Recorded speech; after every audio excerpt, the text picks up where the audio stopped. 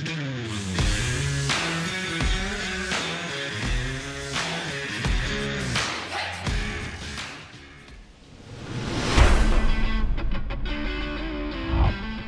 everybody, this is Wade from Maintenance Gurus. Today I'm talking about PPEs, personal protection equipment. I'm talking about when we have to go into a resident's home for any type of work order or a gold key service. First thing I do is I come to my door, I always have my PPEs right in my door. Um, first thing I do is make sure I get my mask on, I put that on, I grab my gloves, always have my gloves with me, and the booties are always a must. Go ahead and put those on both shoes so when you go in the home, everything should be clean. Um, you're not bringing in nothing else.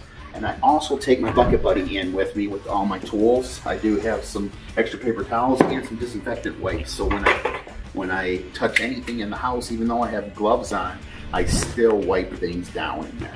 So then when I come back out, I take my mask, I throw it away, and I grab my hand sanitizer, spray my hands down, both sides, and just make sure that my hands are clean and everything. And that's pretty much it.